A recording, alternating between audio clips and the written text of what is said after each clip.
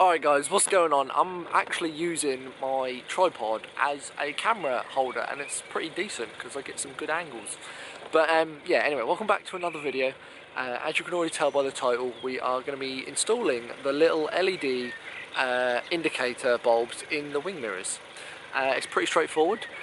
I just want to say quickly though, thank you for everyone that's smashing the subscribe button. If you haven't yet smashed it, make sure you are smashing the subscribe button and hitting that little bell right next to it and leaving a like on the video and also commenting what you think or just leave a little comment and maybe I'll reply.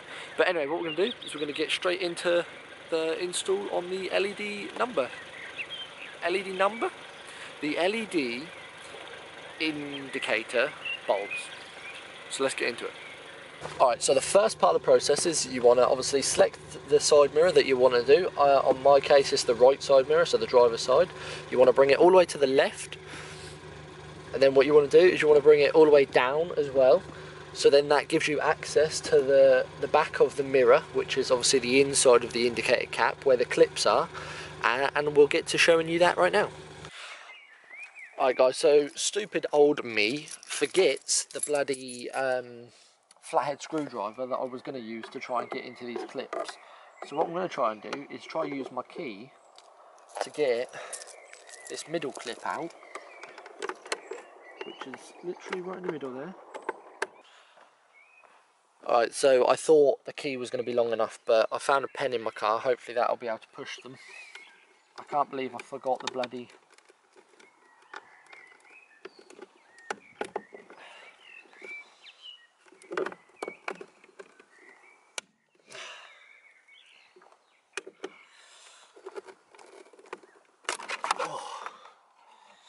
Right, well, I didn't break any clips, but I did have to tug on that clip a bit. Anyway, that little indicator bit was meant to stay here.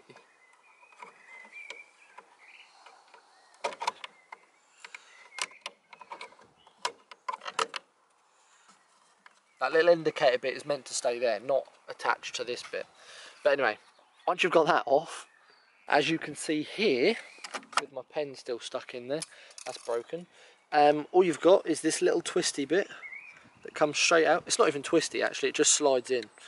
It literally just slides in and out like that. And it's just the exact same bulb as what you get um, in your number plate bulbs.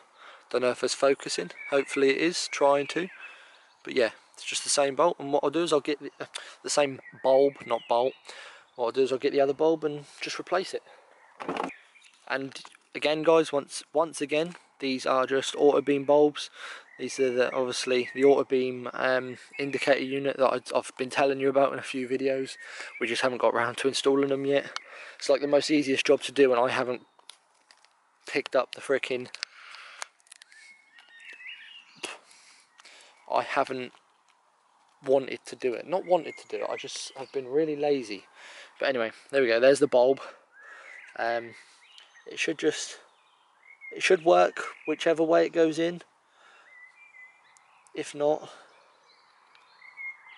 what we'll do is I'll try it. Where's my key?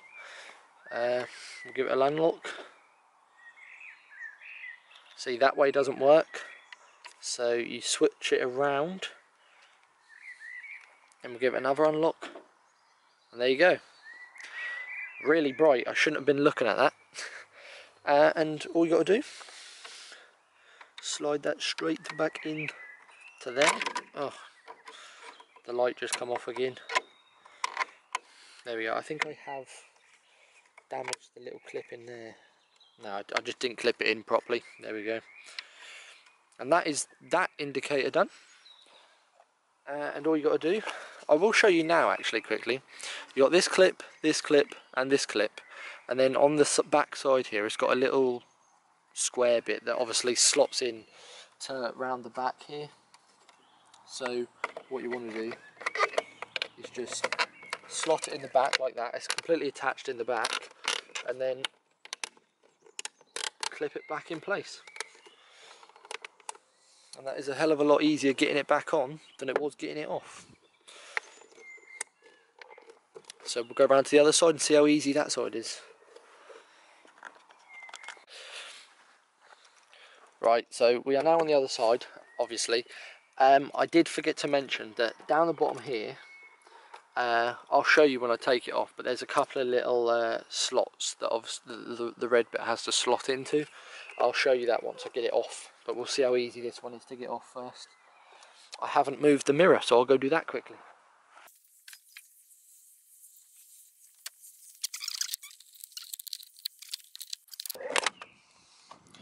And there we go, and this thing stuck to it again. It's only stuck because there's a little rubber seal around there and obviously where it's been sat on it so long it's just bonded itself. But these do actually just slot in and clip in like that and stay in. But that was a hell of a lot easier, probably because this one, the clips are all still fine. But um, that little square bit here, it's not focusing, this little square bit right here is actually broken on this one. Uh, and the little clips that I was on about on the back that I didn't show you on the other one they're actually all broken on this one too. So that's probably why it came off easier. And I can't show you the little clips either. But you get the gist. Basically obviously you've got the back over here then you've got the bottom of the back which is these little clips right here which you can see where there's no red there and no red there. Obviously where the clips have broken off. But anyway just remember them clips are there and don't break them off yourself. This one's only broke because this wing mirror has been hit by something and it's been knocked off my car. Not by, while I was owning it, by the previous owner, but anyway, we'll get to changing the light over. Alright guys, the camera's a little bit on the wonk at the minute, but I just want to get a quick comparison. Obviously this side is uh, AutoBeam light installed and this one's not. This one obviously just hasn't got the wing mirror cap on because it's down here on the floor. Um, the keys are in the car, god damn it. So yeah guys, obviously both the indicators are on right now. You can't really tell the difference up here, but if you look down on the floor, you can obviously see the reflection of this indicator is a hell of a lot brighter than this one over here. So yeah, it's a hell of a lot brighter, you just can't see it front facing. You see it more on the floor next to the car.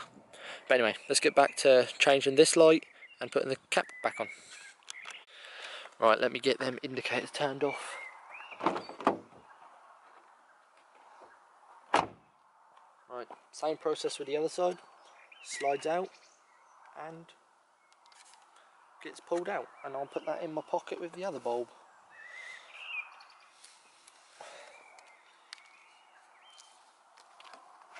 And there's just a little trial and error with this again. Hopefully I've put that in the right way. Let's test it. There we go. Don't know if that's in the shot of the camera, but yeah we got it in the right way. And that is that one done as well. Now we'll just put the cap back on.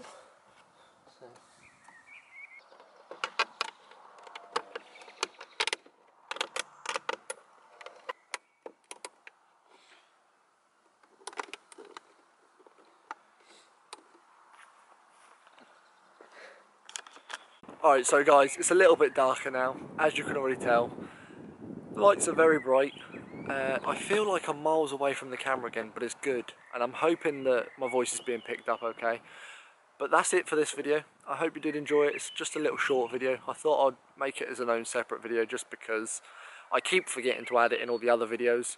But anyway, I appreciate everyone smashing that subscribe button. If you're not subscribed yet, make sure you are subscribing and liking the video. And uh, I shall see you in my next one. Peace out, guys.